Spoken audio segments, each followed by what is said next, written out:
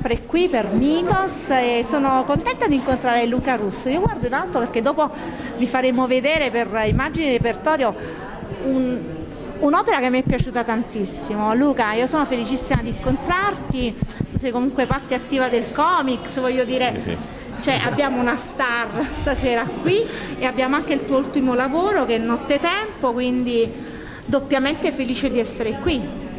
Sì, no, è piacere mio perché anche qui al Magna Grecia è un posto che adoro, in cui vengo da, da, tanto tempo e quindi è un piacere esporre insieme ad altri artisti in questo posto. Allora, Nottetempo in promozione, ci siamo strappati una promessa, insomma lo porterò anch'io in giro da qualche parte sì. e raccontiamolo brevemente. Eh, allora, il eh, mio primo libro, il mio primo graphic novel eh, che mi vede non solo come disegnatore ma come autore completo, ossia autore dei testi, dei disegni, dei colori. Precedentemente avevo fatto altri graphic novel, altri fumetti, ma come disegnatore. Sono passato alla scrittura con questo libro. È un ponte tra i lavori precedenti e quelli che verranno. Nottetempo è una storia particolare, è, mm, molti, molti, giornalisti mi hanno chiesto se fosse autobiografica eh, perché mm, mi hanno detto dice, è così sentita che deve essere autobiografica. Per forza. In realtà di autobiografica di autobiografico c'è l'emozione che volevo raccontare e ho delegato dei personaggi di invenzione, un'ambientazione del tutto inventata per raccontare l'emozione, quindi non i fatti ma l'emozione che ne, che ne esce fuori. In brevissimo è la storia di un pianista, di un artista famoso che si trova ad aver perso il suo equilibrio, ossia quello che c'era tra due donne che già sembra strano, no? Una è sua moglie, la musa di sempre, Giulia, con cui è cresciuto artisticamente nella vita, la sua compagna e la sua musa di sempre. L'altra invece è un fantasma, il fantasma dell'arte che si aggira da sempre nelle camere della sua stanza, de, de, della sua casa e della sua mente. E, qual è la rottura dell'equilibrio? per dei motivi che non dirò perché sono importanti nella storia, sua moglie si allontana da lui, non dico in che termini, però questo fa sì che l'arte, l'altra donna, non gli parla più e quindi cade l'ispirazione e lui va in crisi. Nell'arco di una sola notte tra realtà e onirico, lui va alla ricerca di se stesso per trovare se stesso deve ritrovare la moglie, per ritrovare l'arte, per ritrovare la musica.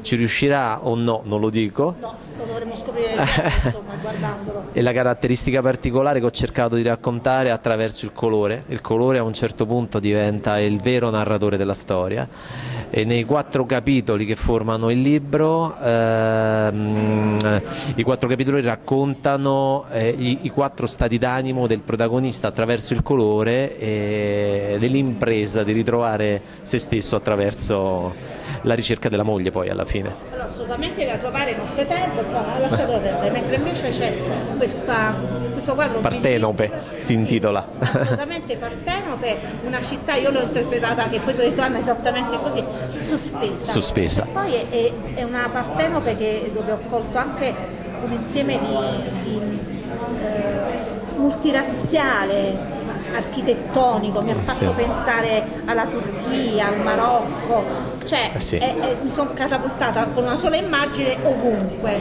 con quest'uomo che guarda eh con sì. dei colori molto particolari, una colonna greca, insomma sei stato veramente, guarda, hai preso in, in un solo momento tutto quello che è la nostra Partenope. E, ehm, io sono romano e di conseguenza per me eh, Napoli ha uno sguardo diverso, no?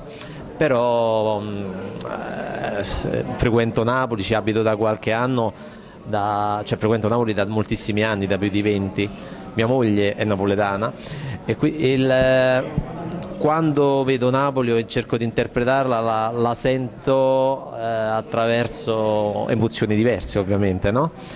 Ehm, e per interpretare questa Napoli ho pensato possibile nella possibilità di una Napoli futuristica e futuribile, ho pensato che anche fra mille anni Napoli conserverà sempre la sua potenza antica e quel, quella sua caratteristica di essere sospesa sul mondo, eh, nello spazio. Per questo è sul mare perché è fondamentale il mare, per cui eh, per quanto possa sollevarsi e diventare appunto futuristica e quindi rimanere sospesa, eh, conserverà sempre, si arroccherà nella sua storia. E quindi sì, non potrà mai perdere la sua caratteristica antica eh, assolutamente e quindi raccontare la sua storia sempre allo stesso modo. Eh, il fatto dell'essere sospesa è proprio quello, cioè, ho immaginato qualcosa, cioè, Napoli è una città estremamente viva, anche rumorosa se vogliamo, no? allora mettere Napoli sospesa sul mare e creare un silenzio in realtà era mm, quasi, un, quasi un'immagine complementare di se stessa, però quella è stata l'immagine futuristica che ho visto, però è, è un po' come vedere Napoli dall'alto, no?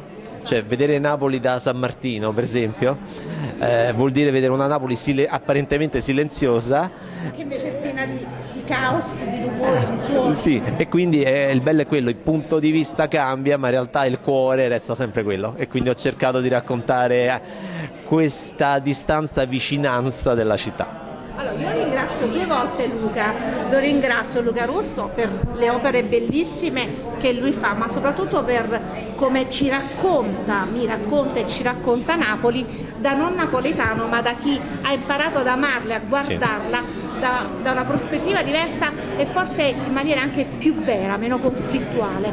Quindi sì. ti ringrazio veramente tanto Luca. Grazie, e ci grazie a voi. Presto. Grazie a voi. Grazie, grazie a Ciao. tutti.